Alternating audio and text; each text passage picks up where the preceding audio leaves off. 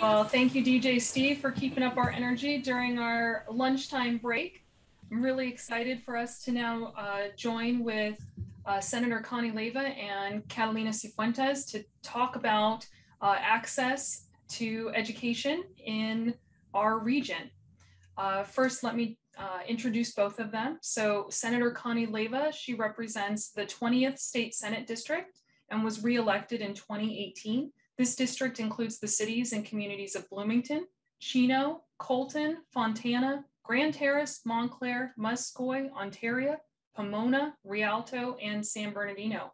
As a state senator, she has been committed to improving California's schools, the environment, and communities, as well as creating quality jobs throughout the 20th State Senate District and the state of California.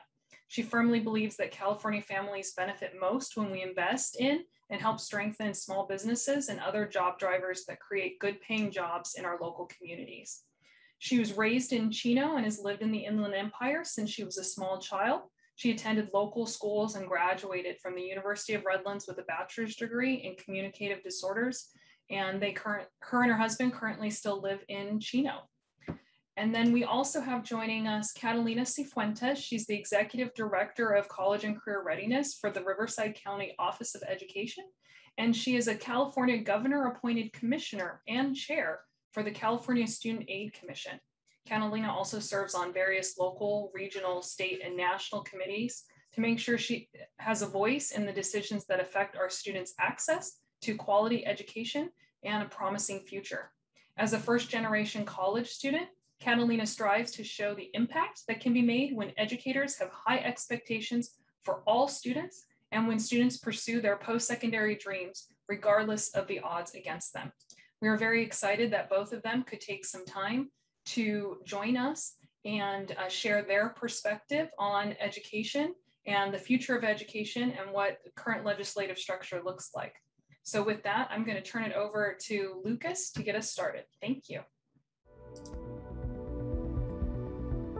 Hello, Senator Leyva. Thank you so much for being here with us. It's such an honor to be here with you and to be able to have a conversation with such a fierce advocate for college affordability, access to higher education for all students, all Californians, California students. So thank you so much for being here.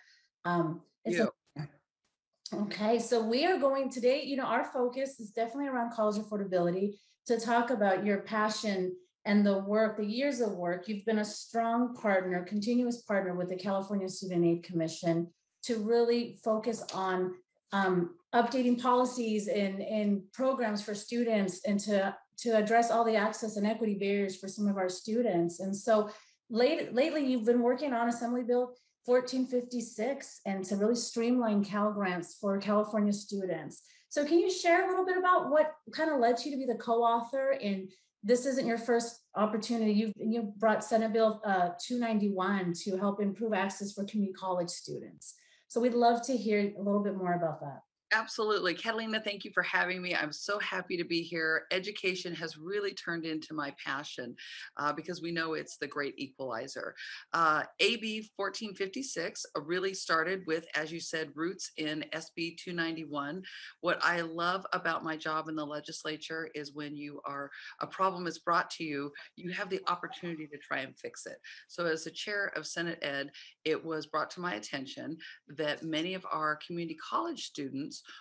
were paying as much or more than our CSU and UC students when you look at the total cost of college. So we worked on 291 for two years and then and that was it was introduced just before COVID hit. And so rightly so, we really shelved any bill that didn't have to do strictly with COVID and keeping people safe. So when Assembly Member uh, Medina came to me and asked me if I would want to be a co-author and start the same bill over in the assembly, I said, absolutely. Uh, it's not about whose name is on the bill, it's about actually getting the work done. So I'm very excited about this bill, um, making sure that we're streamlining Cal grants. And it's really, it, uh, it's long overdue to make sure that our students have monies for non-tuition costs because the tuition sometimes is the easiest part, right? And it is the most affordable part. But do you have a place to live? Do you, can you afford to to buy your books. So there's so many things. Um, even just getting to school. Uh, Do you have a car? Do you have public need public transportation? So this bill will really actually help with all of that. Uh, I'm very hopeful that we can get it to the governor's desk. Uh, we're doing the appropriations. Uh, dump, as they call it today. So hopefully it gets out of appropriations and it will come to the Senate floor and I'll be able to advocate for it and hopefully get it to the governor's desk. That's awesome. Thank you so much. Um, You're very welcome. and you have, you know, this is like you mentioned earlier, just your passion and what you believe in. It's if you understand the power of education. And when we're, you mentioned and shared, and it's something so many, if you're not involved, the cost of attendance is, you know, California, they say in the nation, we're very generous about taking care of our students to pay tuition and fees, but it's other costs um, of affordability um, housing insecurities and food insecurities. So, what other ideas or, or things are you thinking in addition to help um, streamline these processes for students? So when we talk about streamlining processes, I think you're thinking about how do we get students into college, and then what's their once they're there, um, how do we help them? So I, I would say a couple things. Uh, I think that if we had a coordinating body, that would be very helpful around higher education. But I think really the legislature has kind of served as that coordinating body and we have really tried to to streamline the process in a number of ways. Um, a bill that I just love that got absorbed into the budget is SB 309. Again, I go back to the great part about my job is when you learn of a problem, you have the ability and the opportunity to change it. So we found out that um, not all of our uh, uh, high schools were offering A through G courses. A through G is, you know, specific English, math, science classes, and if you don't take them, you cannot get into a UC or a CSU in California. 50.6% of the students in California did not have access, do not have access to A through G courses. I found that shocking. And I also found it very disheartening because we also know that those students who don't have access are really in they're in our black and brown communities and to me that's just unacceptable. So we introduced sb 309 to make sure that the money would be there because you need particular t- teachers to teach those classes and make sure that they were there. So uh, i'm happy to say that got, it got absorbed into the budget and we will now be putting 547.5 million dollars uh, to help students have access to a through g classes which i just feel like this is something we have to make sure that every one of our students reaches their potential. So, can you imagine being a student? Maybe you're the valedictorian of your class, you have a 4.0 and you graduate and realize that you didn't have access to these classes and can't get into a CSU or UC. That's just unacceptable. So, very excited that uh, that's going to be in the budget and we're going to change that going forward.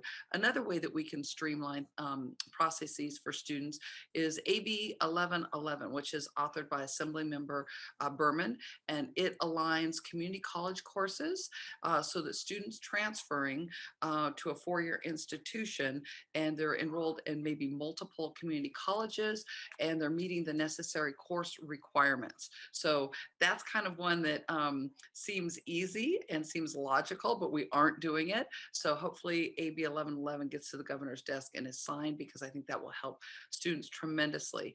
And then additionally, AB 705, which was authored by Assemblymember Irwin in 2017, it changed our remediation policies so the community college students are accurately placed into college level coursework uh, without having to take additional prerequisite courses. That's another one that I had no idea that this was a problem. So I think those are some of the things that the legislature is doing to try and help streamline things and just make it easier for students or, you know, young people and not so young people, maybe folks that are changing careers.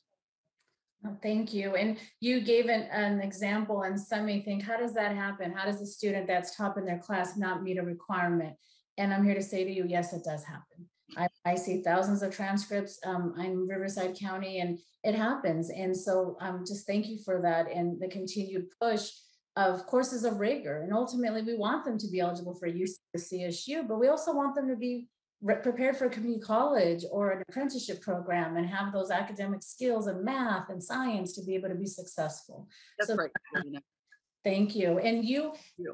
Shared already a little bit about, um, you know, what I know with the conversations happening in Sacramento with, you know, P20 and unifying us as one, one P20 system and not just K-12 and higher ed. And can you share a little bit about the, your, your goals or ideas for that strong and improving that articulation? Because you've done so much. You just talked about two examples of how, you know, you're working with higher ed and K-12 and trying to unify them. Can you talk a little bit about that articulation ideas or what your thoughts are?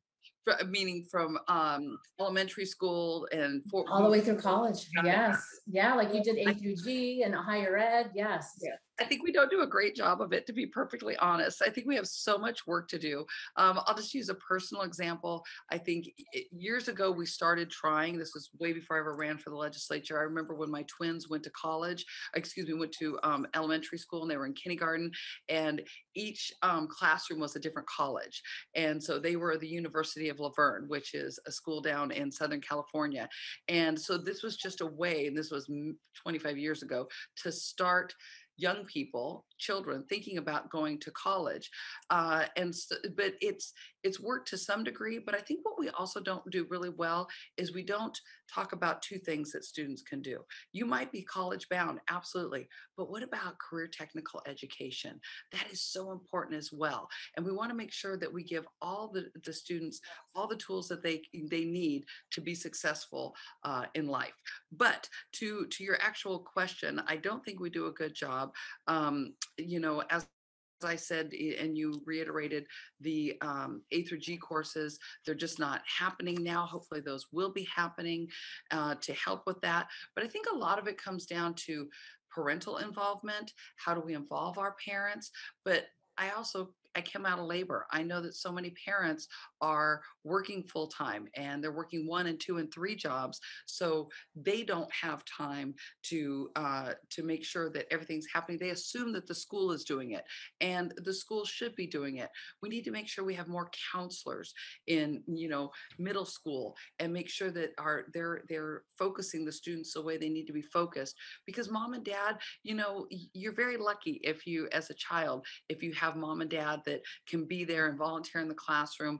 Um, but it just doesn't always happen. And it's not because those parents don't love their children any any less it's because they're working two and three jobs. So I think Mhm. really having the resources at the elementary schools and the middle schools with counselors to keep our young people on track will help get them into community college, into our UCs, CSUs, and also into our trade schools and our career technical education programs. We want to give them every every possible way to succeed. Awesome. Well, you you shared something, and I think it's it's what we have to accept and realize in California public schools. More than sixty percent of our students are either low income, receiving free and reduced lunch. So they're what you just described as institution dependent, and that's Yeah. what we're trying to build. Is parents think we're taking care of it, so let's Yes. can take care of it. So we can take care of our students within the school system. So I think that's awesome. And I think especially in the Inland Empire, um, those numbers are even higher. Some of our some of our schools have more than 90% of their students that are school dependent. So I, I love that message and that understanding. If you, you know if you work in an Inland Empire, that's what who you're working for. These parents trust you. They're Right. they're fields, they're working two jobs, they're doing what they can to keep food on the table, and they're trusting the schools as professionals to help their students. Yes. Thank you, Catalina, because that totally get it. That's exactly right. Mhm. So it is incumbent upon us as a legislature to make sure that's happening, making sure that we are giving the schools the funding that they need, and then also holding them accountable and making sure that they are spending that money on those counselors and making sure the students have everything that they need. So you're exactly right. Well, and you're you're not only just college affordability champion, but really about policies that provide equity for all students. And so with the pass, when the governor's budget to um, ensure students submit, uh, uh, schools help students submit their FAFSA applications starting a year from now. Um, I'd love to hear your thoughts and ideas and and how are you, how, I'm sure you're excited about that because you're definitely an equity champion for that. You deserve, you feel every student deserves those opportunities. So I'd love to hear a little bit more about your thoughts about that. Absolutely. Oh my gosh, the FAFSA. Well, uh, let me first say that uh, having twins that went through college at the same time, I don't know if I was more excited that they graduated from college or the fact that I didn't have to fill out that stinking FAFSA anymore.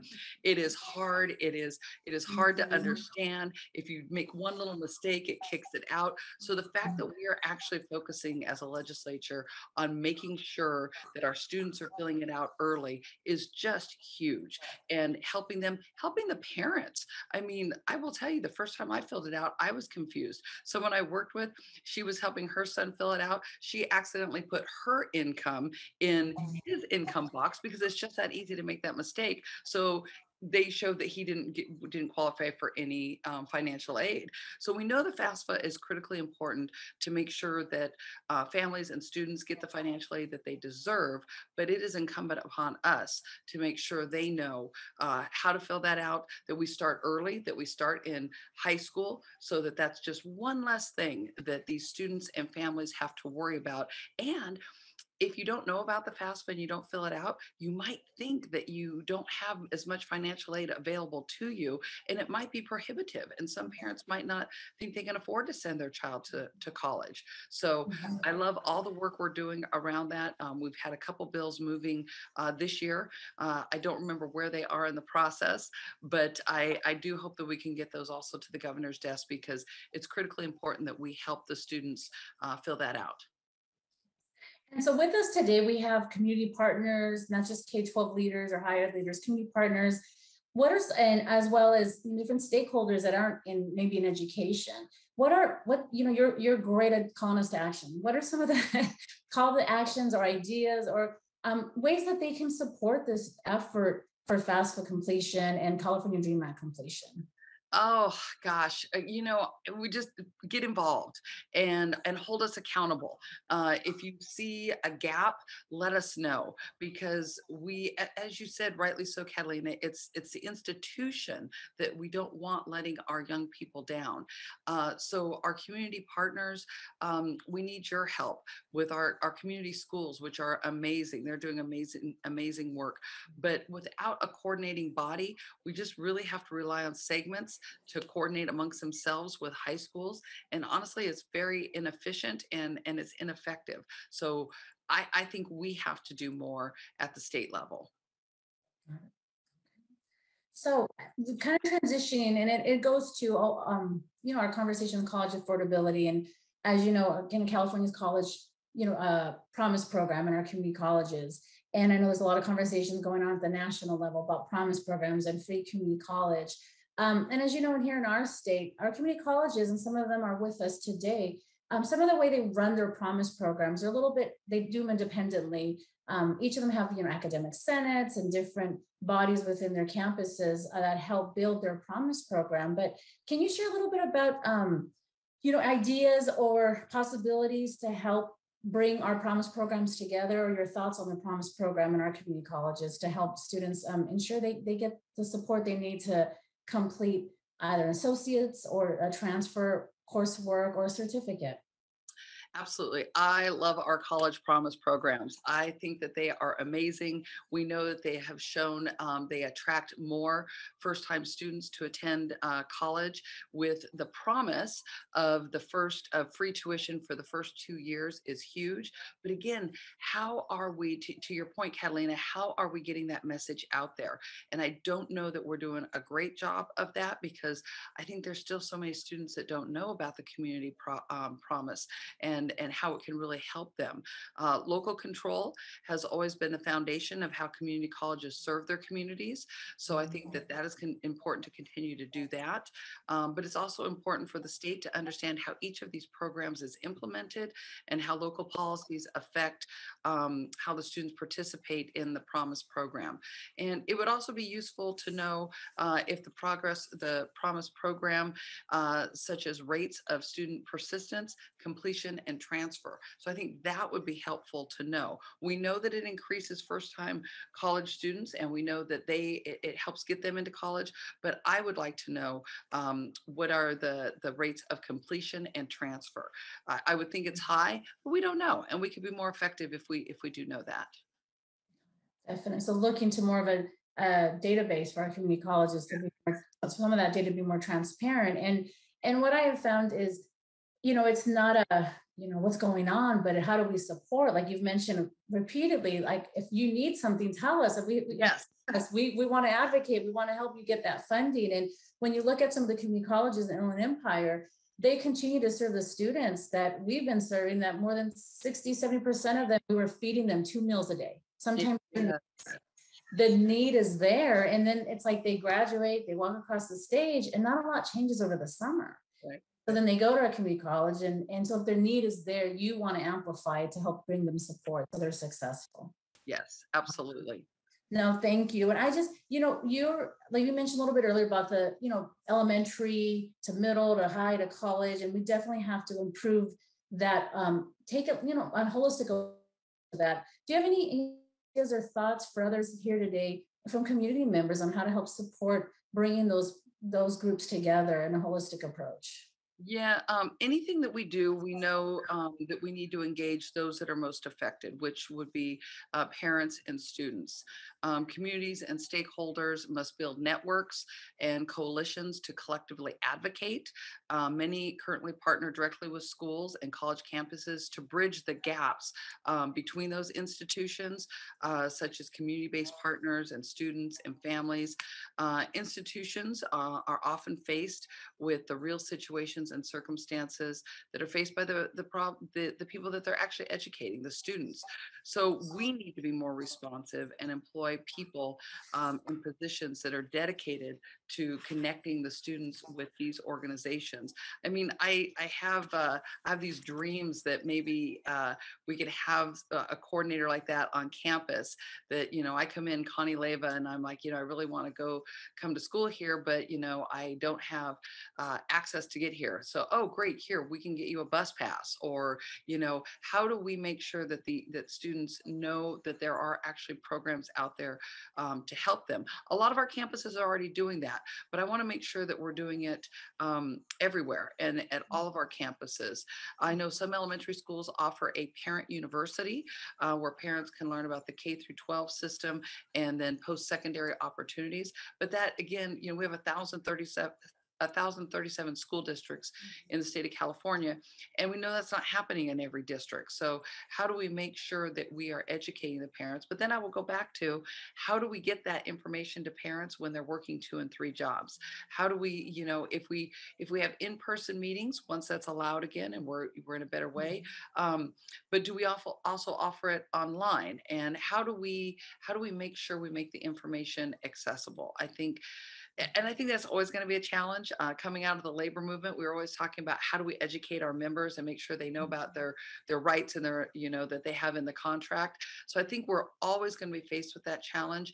But I think we just have to always keep trying to move the ball forward and and just figuring out different ways to make sure parents know what opportunities are out there. Mhm.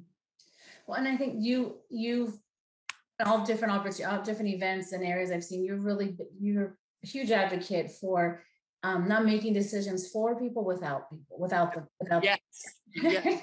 So, and, and so I think that's encouraging. I've been in meetings where we want to do something, let's say for teachers or for um, parents, and it's like, there's not a parent at the table. Right. Yes. and I think that's the first when we're even students, you know, student voice is so powerful and doing empathy interviews with students to find out. And I think that's um, I've watched your team do is include include different stakeholders to hear their voice and, and have it, you know, their voice at the table instead of making a decision for them without them. Thank, thank you for saying that, Catalina, because it is so true. I know I don't know everything. My team knows we don't know everything. So when we're trying to engage parents, you know, we're going to talk to the parents and say, what is the best way to outreach to you? You know, everybody uh, has one of these now. So maybe it is text messaging or whatnot. But you're right. If we're going to make decisions, the people we're making the decisions about have to be at the table. Totally agree. Thank you. No, thank you. Like I said, I've, I've, your team has done a great job of including different stakeholders to get that information. Um, you as well. So I want to shift a little bit to talking about California budget priorities and, and funding. And I think one thing I've noticed in the last few years, um, you know, with uh, the conversations around P20 data, with Governor Newsom's focus on P20 data systems and the legislature and yourself, really looking at California from a whole, from a a whole piece, P twenty, not just, you know, Right. buckets. And so as you know, we continue to, to um, move things, for example, in Riverside County, you know, we've really pushed so much on um, college enrollment and FAFSA completion and all of our efforts working together with um, our court systems and so many different groups coming together, things like the juvenile felony arrest rate has lessened, it's declined. Yeah. And sometimes we we get so we're so busy doing the day to day, we don't stop and reflect and say, hey, we actually could shift resources from this to that. And and I the P20 conversation um, you're having has really opened up those ideas. Like we're thinking about one affects the other, the housing affects the college enrollment, or the college enrollment affects obviously the income of how much, you know, Pell Grant federal dollars is coming to a community. So you're in that day to day, you understand that. So can you share a little bit about your thoughts or ideas about how systems or instant business, even nonprofits can look at what's happening and use that data to kind of change their efforts? Yes. Oh, that's such a, a good question because it's, it's a good question and it's a difficult question because I think what you're suggesting is a very healthy approach to budgeting. Um, and I always say that our budget reflects our priorities.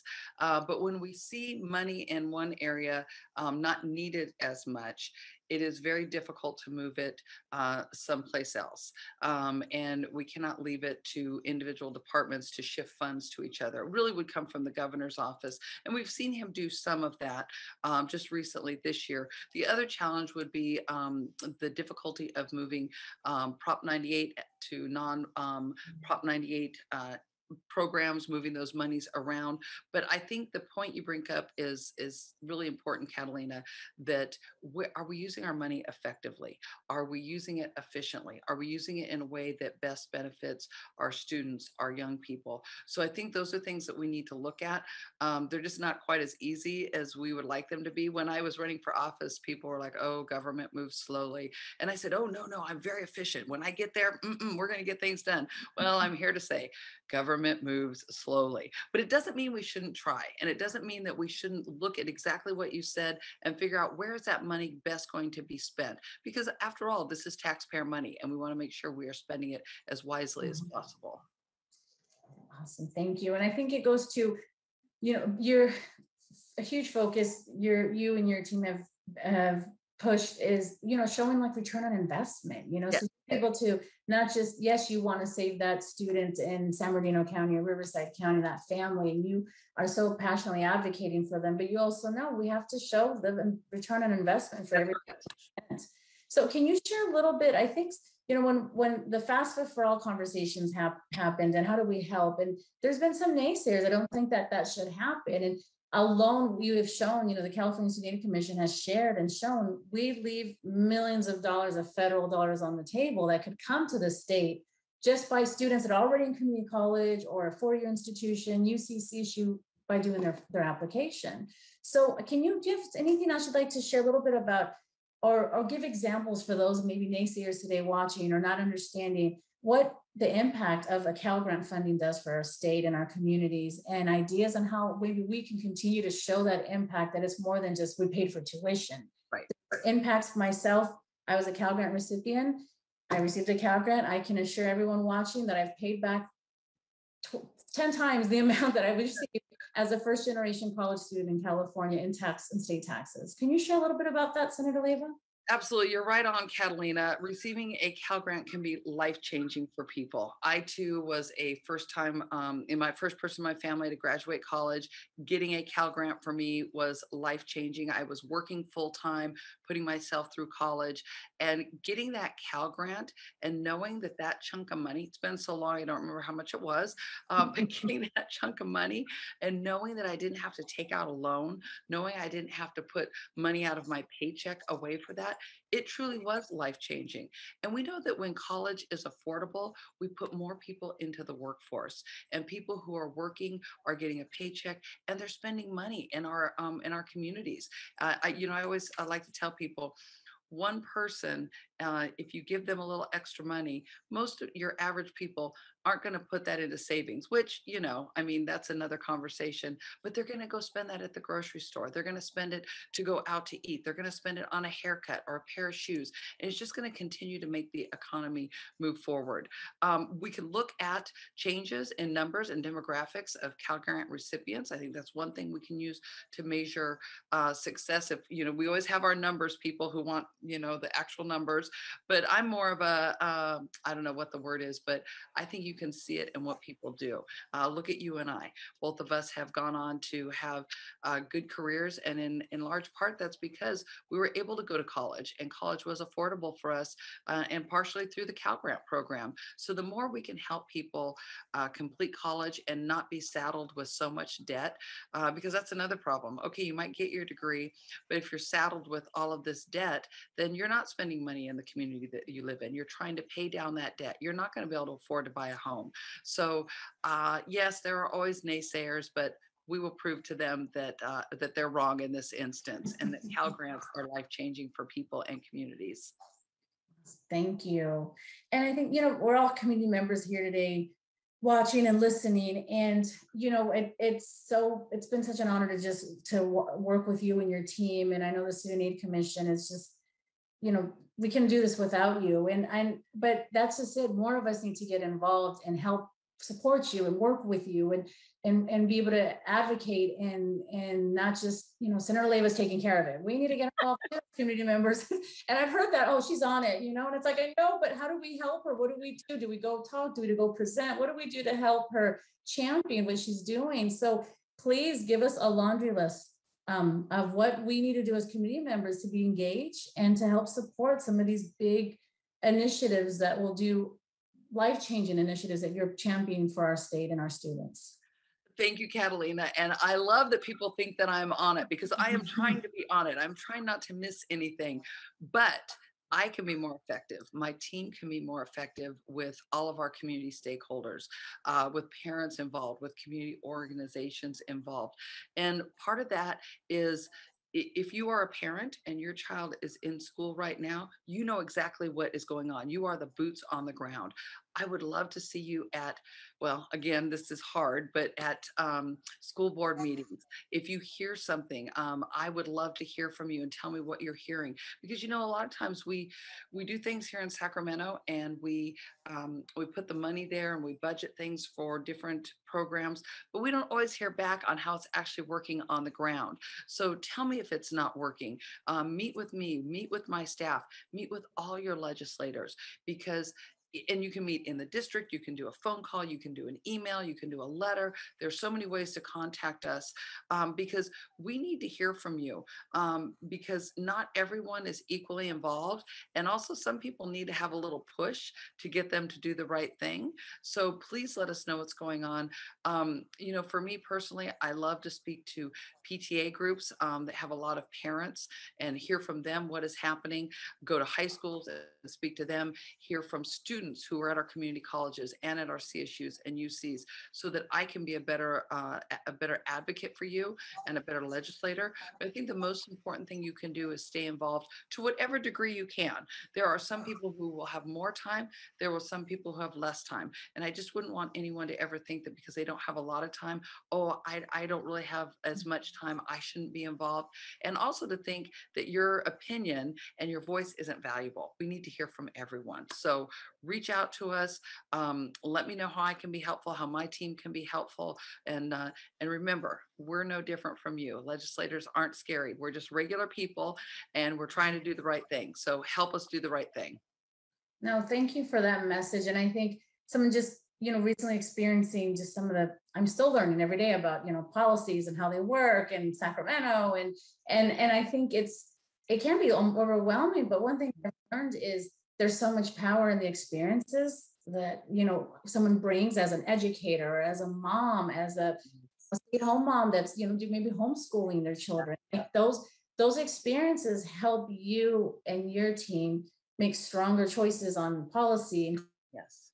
and so i think I, I just can't echo enough. Um, I'm like, I'm, I was just a teacher, or I was just a counselor, but oh yeah, you, you have so many different experiences that and make things stronger for for the work you're doing for us so you know the theme of of the convening is you know brighter future a brighter future awaits and i know um, you, you know, you know, our Inland Empire, you know, both Riverside and San Bernardino counties and the work that happens, the, the school dependent students we have.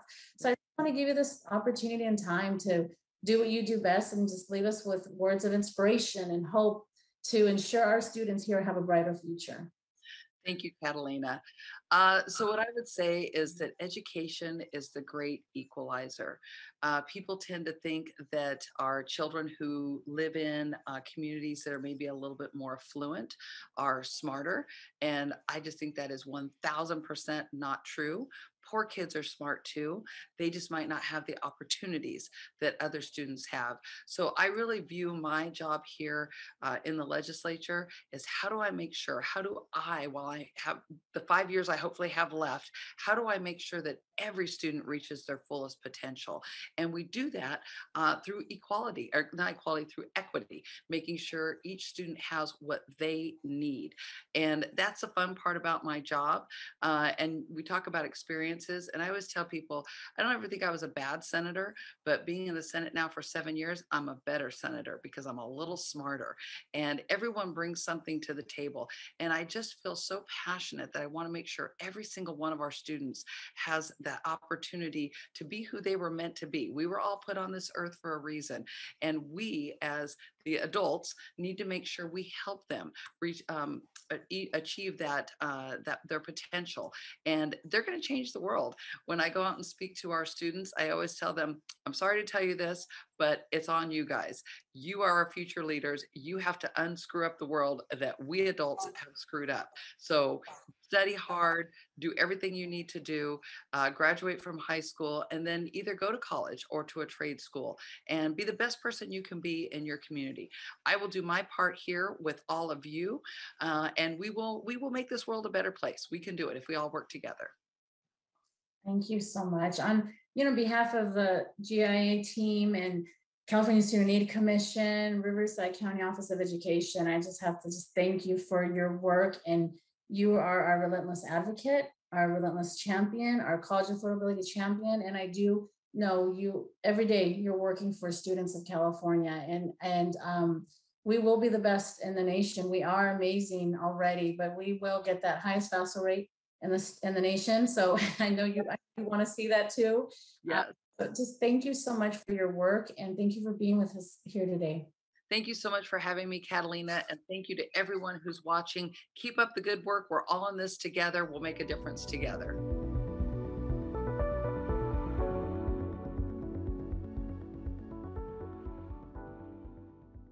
Well, thank you so much, Senator Leyva and Catalina, for the great conversation you gave us today.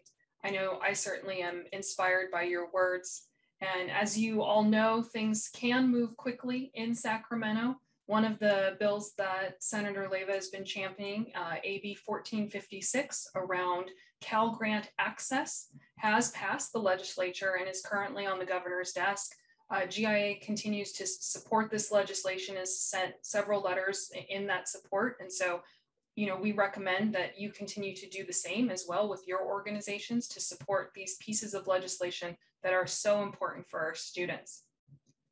As we conclude our sessions today, I'd like to take a, a minute to look back at some of the great uh, presentations and areas that we talked about over the course of this conference. You know, we're really excited to ensure that we provide over these two days really useful tools and resources and information that you all can use uh, back with your work, as well as some inspiration, given that we all have uh, had such a crazy time over the last, you know, 18, 20 months. And it continues, right? And we're all working together, as Senator Leyva said, to really ensure that education is the great equalizer. Uh, one of the notes from our keynote yesterday with uh, Leona Christie from Catalyst Ed, she mentioned, you know, four key takeaways as leaders that we need to ensure we use over the course of, of our work and making sure that we take care of our people that we let our values guide us, that we are able to share our power, right? Working collaboratively with each other, and that we balance both the short term goals and the long term goals. And we at GIA are here to support all of you in that work, as well as I know many members of the network continuing to work through the Action Network teams and many other organizations that are network focused throughout the region to ensure that we align around similar goals and make sure that, that we are here to help support our students and families moving forward. Carlos Ayala, the president and CEO of GIA, mentioned yesterday as well, really calling us to action to both think and act regionally in all of our work.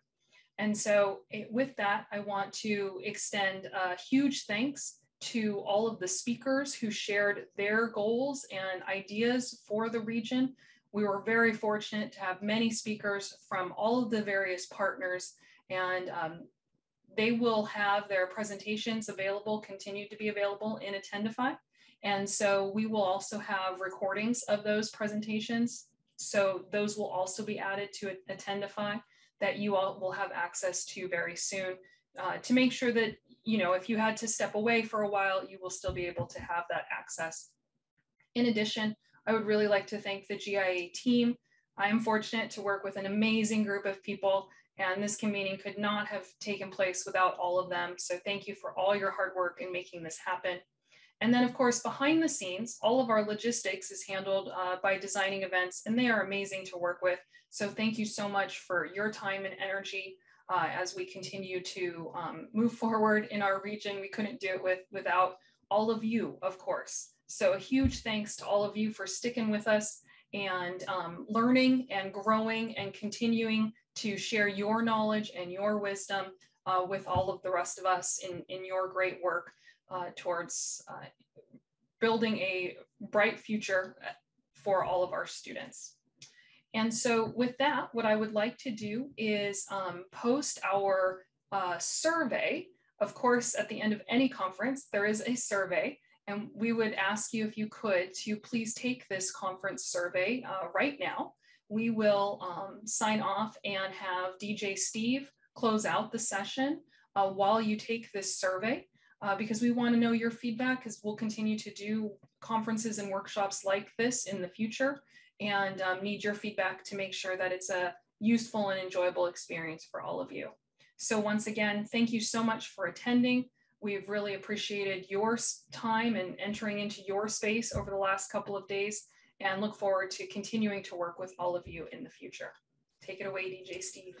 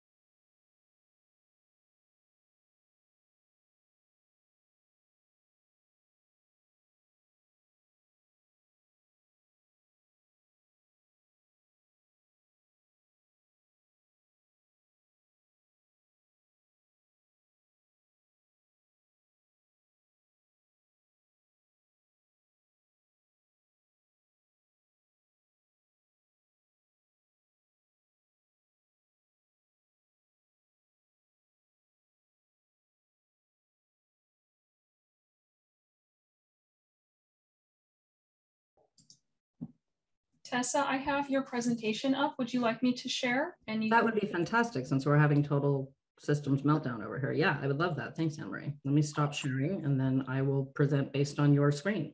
There we go.